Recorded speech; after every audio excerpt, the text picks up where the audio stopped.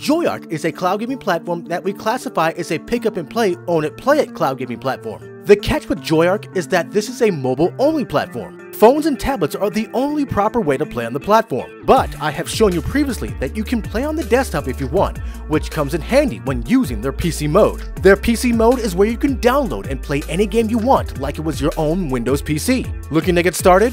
Here's what you need to know first. The PC mode is a standard Windows PC. What's great about this is that all the games on the service is already pre-installed, including...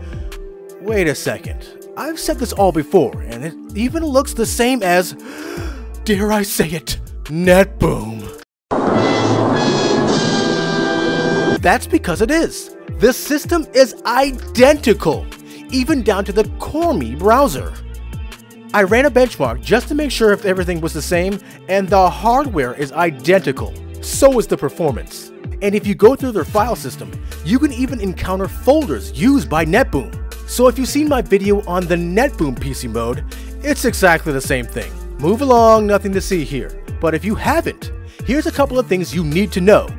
Most of their hard drives are very small.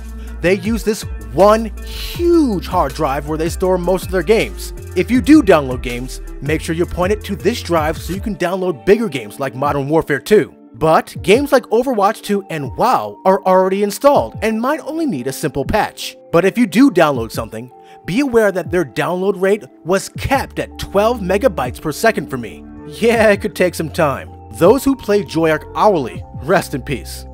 Another bad thing is that if you download a game and leave the service, you'll have to re-download the game if you jump back on PC mode. They don't save your data, sorry. It gets wiped after you exit the system. Overall, this is a nice addition, but I would only use this with games that are already installed. This is a step in the right direction since this is a nice feature that a pick up and play service offers, but some things do need to be expanded upon. Guys, you get what you pay for. If you like this overview of NetBoom's JoyArk's PC mode, give us a like. Also, make sure to join as a member of the channel, or join our Patreon in the links below. And above all else, make sure to subscribe to keep it locked right here at the only place where you can do battle in gaming heaven, Cloud Gaming Battle. This is the Black Knight. Which came first, NetBoom or JoyArk? The chicken or the egg?